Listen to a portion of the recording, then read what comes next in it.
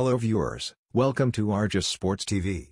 Chris Hughton has been named the new Black Stars head coach, Kudus scores again for Ajax, Osman Bukari on the scoresheet and Sulemana's magic performance. Kindly subscribe to this channel, let's begin.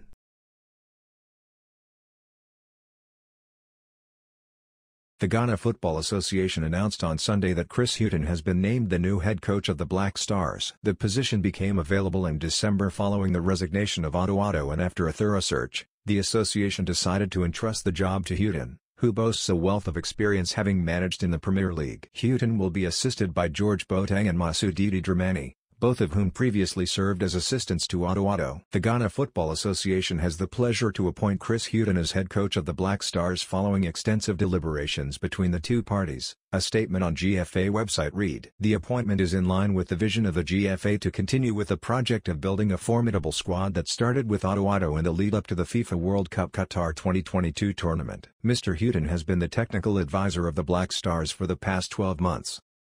The GFA has also decided to maintain assistant coaches George Boateng and Massoud Didi Dramani. The three coaches were part of the technical team for the World Cup in Qatar.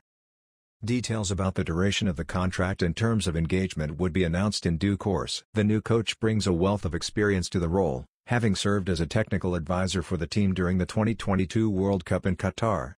With his extensive knowledge and experience, Hughton is poised to lead the Black Stars to success. Black Stars new head coach Chris Hughton will have his first test next month following his confirmation by the Ghana Football Association with immediate effect. Hughton will lead the Black Stars for the first time in March when they face Angola in a doubleheader in the 2023 Africa Cup of Nations qualifications in Cape Coast and Luanda respectively. Hughton's last job was at Nottingham Forest in the English Championship from October 2020 to September 2021.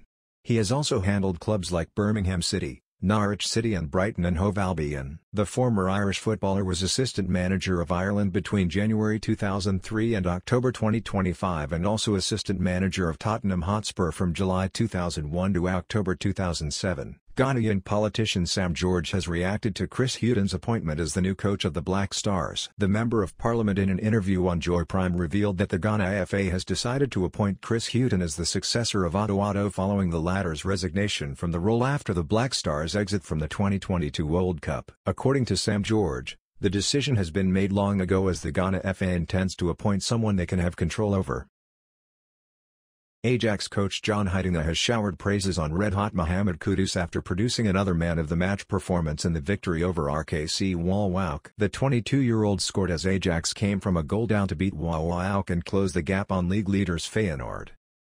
Kudus has been the best player for the Dutch champions since Heitinga took over as first-team coach. We know he has exceptional qualities. It's up to me and coaching staff to make him even better. With the ball he can dribble, create an overload, assist and score goals. I think we should be happy Kudus is playing at Ajax. He said, after the 3-1 win. Waalwijk got off to a great start after netting the opener in the 17th minute through Mats Seuntjens but Ajax responded in the second half through substitute Brian Brobbey. Jurrien Timber gave Ajax the lead before Kudus sealed victory with a stunning strike. The Ghana international has netted 8 goals in the Eredivisie this season. Mohamed Kudus was named the man of the match.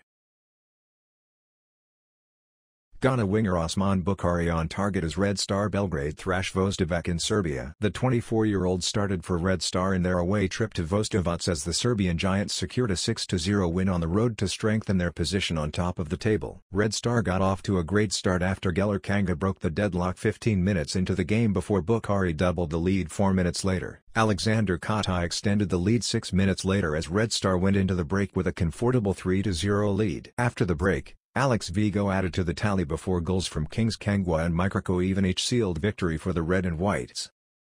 Bukari has now scored 5 goals in 16 Serbian Superliga games.